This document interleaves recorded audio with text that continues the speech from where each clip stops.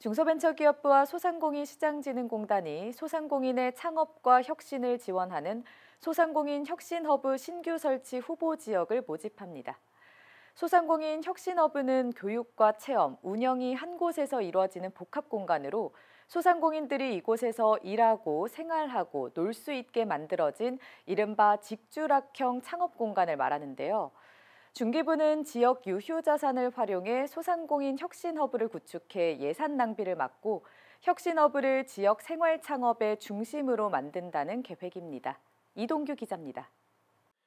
중소벤처기업부와 소상공인시장진흥공단이 다음 달 7일까지 소상공인 혁신허브 신규 설치 후보 지역을 모집합니다.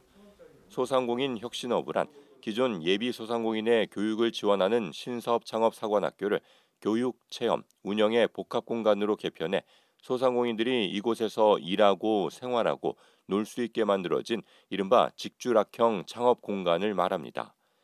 소상공인 혁신허브에서는 누구나 coworking space를 이용할 수 있고 창업 아이디어를 가진 사람은 피칭 대회를 통해 아이디어를 평가받고 창업 상담, 지도도 받을 수 있으며 예비 창업자들은 교육장에서 교육을 받고 보육 공간을 지원받게 되는 등 준비된 창업을 할 수 있습니다.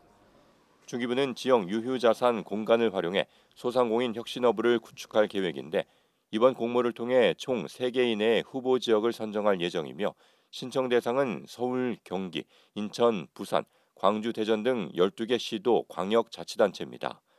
아울러 중기부는 선정 시 리모델링, 필요 물품 구매 등 혁신허브 공간 구축에 필요한 비용을 최대 10억 원까지 지원하며 소통의 장이 될 수 있는 다양한 문화 프로그램과 단계별 창업 프로그램도 운영할 예정입니다. 사업 신청에 대한 보다 자세한 내용은 중기부 소진공 누리집에서 확인할 수 있습니다. ESTV 뉴스 이동규입니다.